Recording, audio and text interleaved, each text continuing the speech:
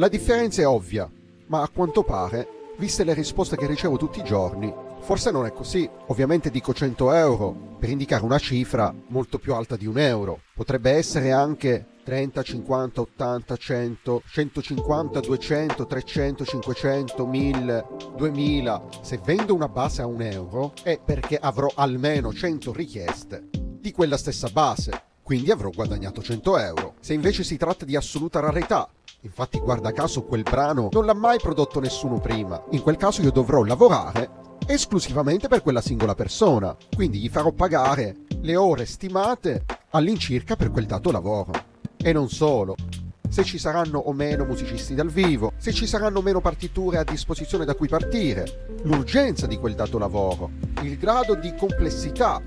Bisogna anche considerare che la qualità sia slegata dal fatto che stiamo parlando di una base pronta o su misura, perché dipende come è stata fatta la base pronta e come è stata fatta la base su misura.